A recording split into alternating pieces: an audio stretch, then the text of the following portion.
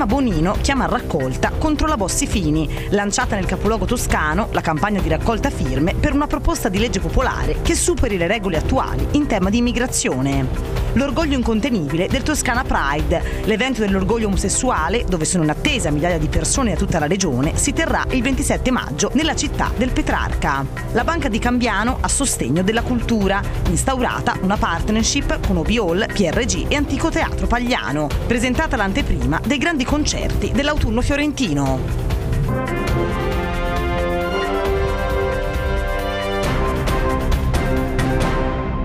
Buongiorno, buongiorno, a tutti e benvenuti a questa nuova edizione di Studio TG. Apriamo il nostro telegiornale con la politica. Emma Bonino chiama infatti a raccolta contro la Bossi Fini. Lanciata ieri nel capoluogo toscano la campagna di raccolta firme per una proposta di legge popolare che superi le regole attuali in tema di immigrazione. Sentiamo.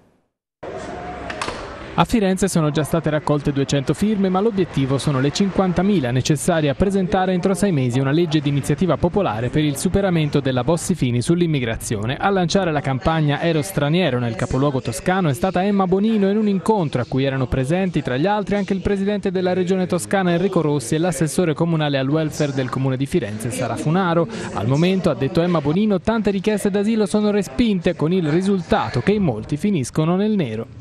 Quello che rende la gente nervosa è la non organizzazione appunto di questi 500.000 più o meno clandestini che lavorano in nero e proprio perché non hanno documenti sono anche più ricattabili diciamo eh, anche da, da narcotraffici.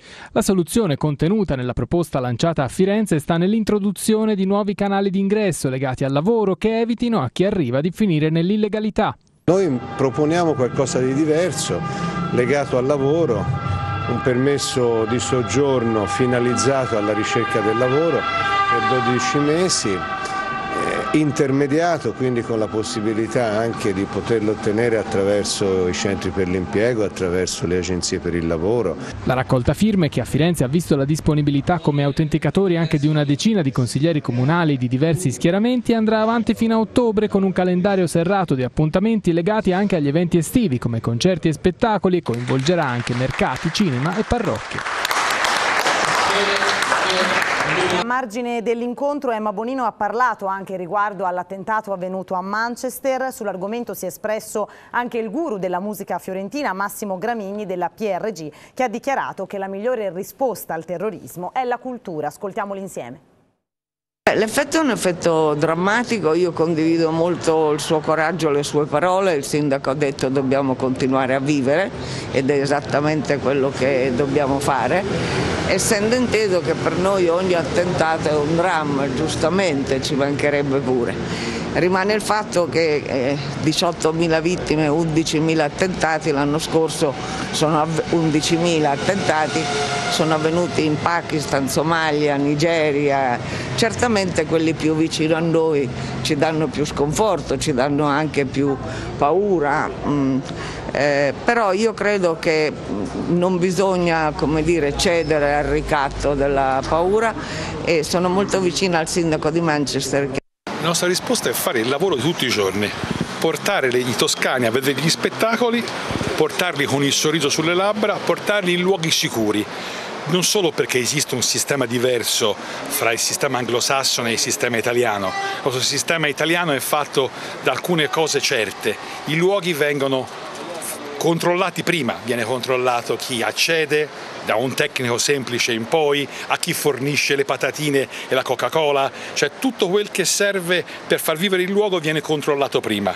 E poi viene, i questori hanno in mano un sistema di sicurezza che prevede una filiera che parte dalle forze dell'ordine in divisa a quelle non in divisa, fino a la Croce Rossa, i servizi di sicurezza, quelli privati, eh, i barristi, i dipendenti delle nostre strutture, eh, chi fa le pulizie nei bagni. È un sistema che si conosce, che ha una filiera cortissima e che guarda negli occhi le persone che entrano. Quello che è successo là è un dramma, perché portare i figli a vedere uno spettacolo e portarli in una bara è un dramma, ma l'unica risposta è noi siamo vivi, siamo presenti, non ci si fa impaurire. E adesso parliamo di alta velocità, il tunnel e la Foster si faranno. Tutto confermato come descritto nella riunione romana di aprile. L'assessore ai trasporti della regione toscana Ceccarelli ha infatti illustrato il progetto con una comunicazione in aula in Consiglio regionale. In sostanza il tunnel di sottoattraversamento AV di Firenze si farà e il ruolo centrale di Santa Maria Novella è confermato. La comunicazione ha descritto un'idea progettuale condivisa, scaturita proprio dall'incontro avvenuto a Roma lo scorso 27 aprile tra Regione, Comune, Gruppo FS e RFI. Nell'area di Belfiore, spiega la comunicazione, oltre ai servizi garantiti dal passante ferroviario cittadino, saranno integrati i servizi della tranvia cittadina e la nuova autostazione degli autobus di Firenze. Nel dettaglio sono previsti 34 stalli a rotazione, a cui si aggiungeranno altri 130 posti per lunga sosta direttamente collegati con la Foster. Quindi la stazione servirà al trasporto regionale, extraurbano e turistico. Ora la Regione è in attesa che sia presentato lo lo studio di fattibilità e il successivo progetto definitivo da parte di RFI. Sulla tempistica della ripresa dei lavori tutto dipende dall'approvazione del PUT, cioè il piano di utilizzo delle terre. E adesso voltiamo pagina, parliamo dell'orgoglio incontenibile del Toscana Pride 2017. L'evento infatti dove sono attese migliaia di persone da tutta la regione si terrà il 27 maggio ad Arezzo. Vediamo. È già orgoglio incontenibile per il Toscana Pride, la manifestazione che aprirà ad Arezzo l'ondata dell'orgoglio omosessuale che invaderà poi tutta Italia, con diversi Pride da Milano a Palermo. Il colorato corteo di sabato 27 maggio coinvolgerà tutta Arezzo, passando per le vie principali del centro cittadino, una grande festa per tenere accesi i riflettori sull'omocausto ceceno, per denunciare le terribili persecuzioni che stanno subendo le persone omosessuali, che sono ancora perseguitate in 86 paesi nel mondo, dove l'omosessualità è un reato. Per chiedere quindi più diritti per tutti gli omosessuali ad Arezzo sono attese diverse migliaia di persone che arriveranno da tutta Italia.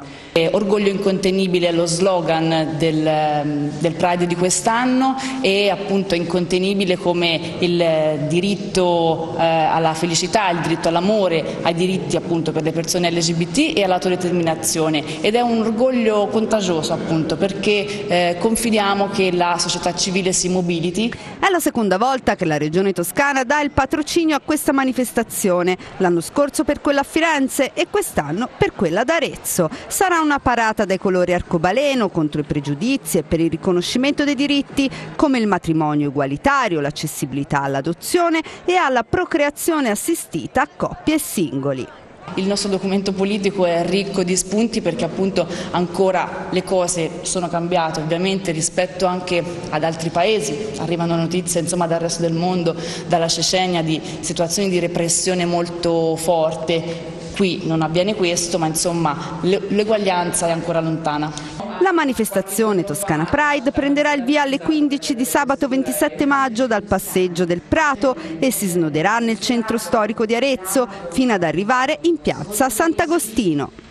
E adesso una notizia di cronaca, andiamo a Livorno, spinse giù la ex ragazza dal parapetto, è stato infatti arrestato a 17 anni dai carabinieri con l'accusa di lesioni gravissime ai danni della ragazza. Il ragazzo è stato infatti trasferito in un istituto per minori secondo la prima ricostruzione fatta dai carabinieri. Il giovane dopo una banale discussione avrebbe spinto giù la ragazza da un parapetto alto 4 metri. L'episodio, ricordiamo, risale alla sera del 29 aprile scorso nella zona degli scali delle pietre nel quartiere Venezia quando la ragazza fu soccorsa dal centro 118 per quella che in un primo momento sembrava una semplice caduta dal parapetto, tanto che non intervennero nemmeno le forze dell'ordine.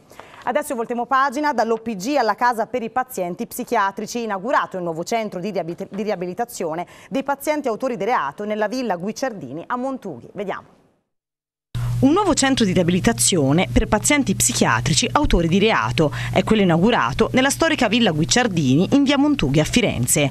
La struttura, che ospita al momento 10 posti letto, nasce dalla collaborazione tra pubblico e privato. Villa Guicciardini è infatti una dimora storica che la famiglia ha trasformato nella fondazione Giulio ed Eleonora Guicciardini Corsi Salviati, che fin dalla sua costituzione ha svolto iniziative e servizi di accoglienza per minori adulti con problematiche. Oggi tagliamo un nastro, ma questo non è un punto di arrivo, piuttosto di partenza, ha così dichiarato l'assessore regionale alla salute Stefania Saccardi, presente all'inaugurazione. Una soluzione che abbiamo pensato qui in Regione Toscana nell'ambito del complesso delle risposte per la chiusura dell'OPG, dell'ospedale psichiatrico giudiziario, cioè abbiamo lavorato sia sulle REMS, cioè sulle strutture a più alta intensità eh, diciamo, assistenziale ma anche eh, detentiva, ma abbiamo ritenuto che ci dovessero essere nella nostra regione anche strutture intermedie come appunto questa di Villa Guicciardini